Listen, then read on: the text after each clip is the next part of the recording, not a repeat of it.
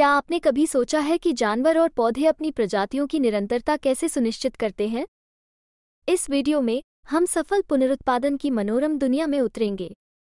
विभिन्न जानवरों ने अपनी प्रजनन सफलता को अनुकूलित करने के लिए अद्वितीय व्यवहार विकसित किए हैं। मोर पर विचार करें। वे साथियों को आकर्षित करने के लिए विस्तृत नृत्य करते हैं। उनके प्रदर्शन की गुणवत्ता जीन को पारित करने में उनकी सफलता को प्रभावित करती है।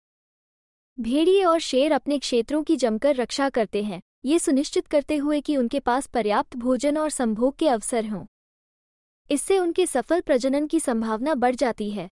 पेंगुइन इंसानों की तरह अपने बच्चों की सावधानीपूर्वक देखभाल करते हैं, जिससे उनके जीवित रहने की संभावना बढ़ जाती है और भविष्य की पीढ़ियों में उनके जीन का प्रसार होता है।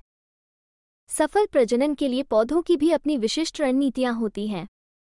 फूलों के जीवंत रंग और मोहक खुशबू सिर्फ़ दिखावे के लिए नहीं है। वे मधुमक्खियों और पक्षियों जैसे परागणकों को लुभाते हैं। जैसे ही ये जीव एक फूल से दूसरे फूल की ओर उड़ते हैं, वे पराग स्थानांतरित करते हैं, जिससे निषेचन की सुविधा होती है। फल, अपने स्वादिष्ट बीजों के साथ, जानवरों द्वारा खाए जाते हैं। ये बीज बाद में जानवरों के अपशिष्ट में निष्कासित हो जाते हैं, जिससे पौधे को नए इलाकों में फैलने में मदद मिलती है। इसके अलावा, फन और मॉस जैसे कुछ पौधे प्रजनन के लिए बीजाणुओं का उपयोग करते हैं। ये सूक्ष्म कोशिकाएँ विकसित होकर नए जीव का रूप ले सकती हैं। उनकी हल्की प्रकृति हवा को उन्हें ताज़ा स्थानों तक ले जाने की अनुमति देती है।